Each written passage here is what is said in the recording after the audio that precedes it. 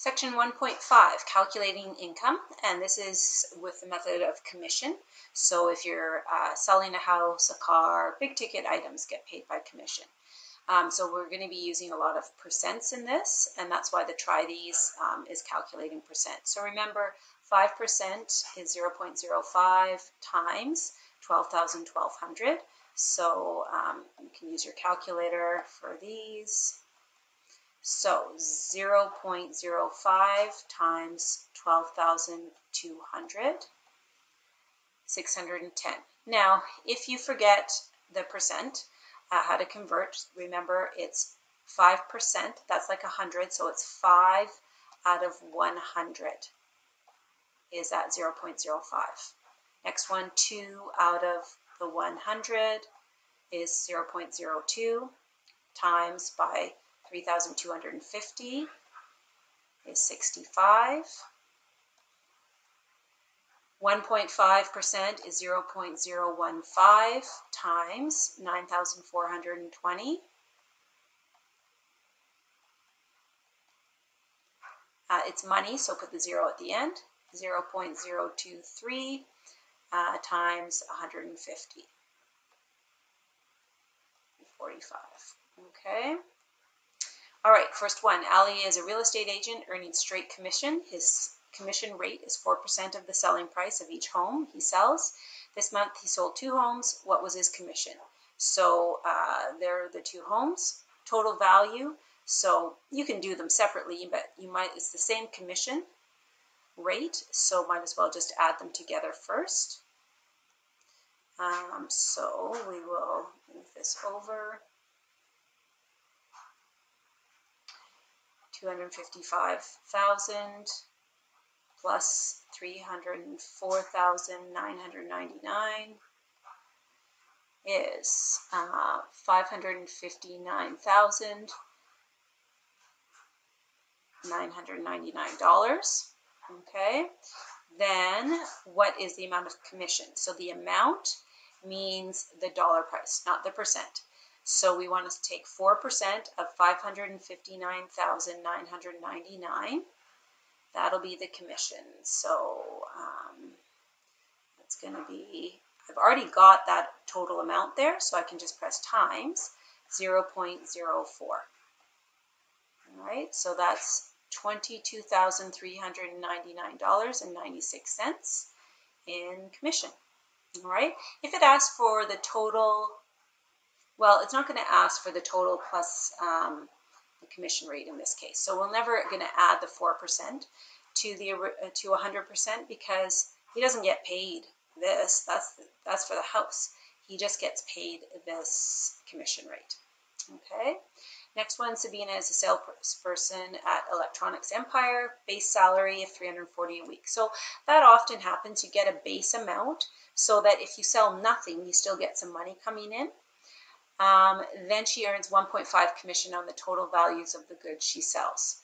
So here are her sales for the two parts of the month, gross income for the month.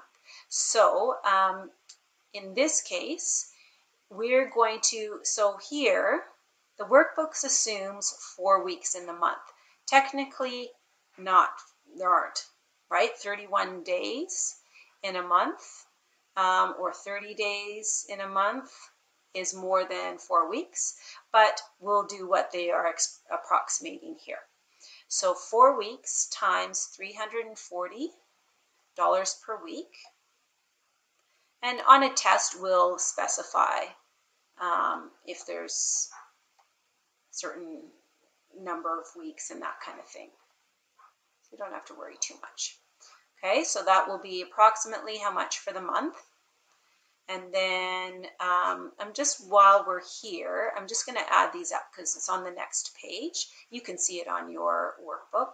Uh, I'm going to just add these up right now. So 55,340 plus 75,920. Okay, so that's going to go on the next page. So go to the next page. Total of the sales, that's what I just did. So I added these together.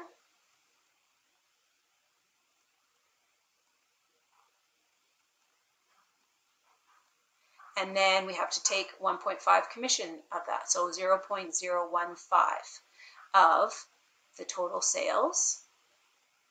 So if it's already in your calculator, just press multiply 0.015 and that's $1,968.90. And so we want to add that to the total for the four weeks, which was 1,360. So again, you can just press add in any calculator, the 1,360, or I can go up and copy it out. It should be $3,328.90. Okay. Um, so that is a common thing that you might get a base salary. Now, the thing is, um, if you're not selling anything, you're not going to get the commission, so that hurts you. Um, and your employer is not going to be very happy with you, right? So um, you do need to think about that. You can't just coast along getting the base salary. And then example two, Jasmine sells clothing part-time at BB's boutique gets a monthly salary, 950 no matter what she sells, 4% commission on the first $15,000 of her sales. And then if she sells over that, the amount over that, she gets 6%. So this is really called step commission. And I'll show you why it's sometimes called that. So Jasmine's total sales were 28,200. What was her gross income for the month? So you want to keep it in, uh, basically look at it in parts. And here's where the steps come in. So I draw a set of steps, right? Just like stairs, steps. And for the first step, um, she gets 4% commission. Um, for any sales up to $15,000.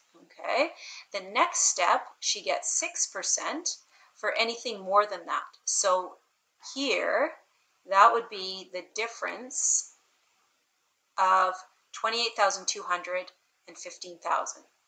Okay, so that would be what would be 13,200. That's what she's going to get 6% on, not the total amount, because that would be basically getting commission twice. So first step is the for the first uh, rate, and then the next rate is the second step. Sometimes you might have four steps. This just has two, but you got to calculate that difference. So base salary for the month, that was already given to us. It was $950.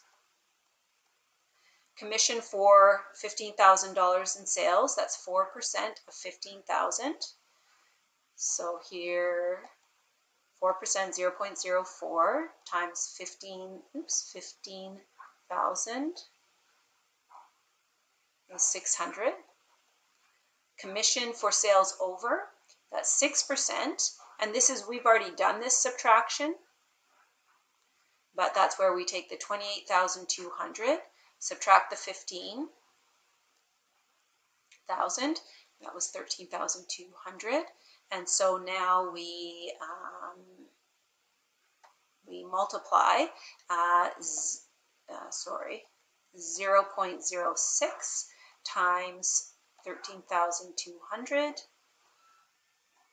and that's $792 and then we add all of these up 950 600 792 I've already got the 792, so I'm going to go plus 600 plus 950.